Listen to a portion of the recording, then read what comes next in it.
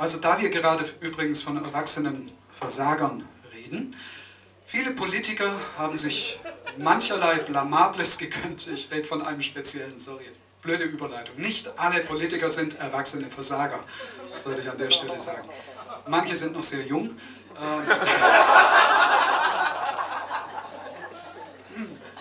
das passiert, wenn ich improvisiere. Mein Gott.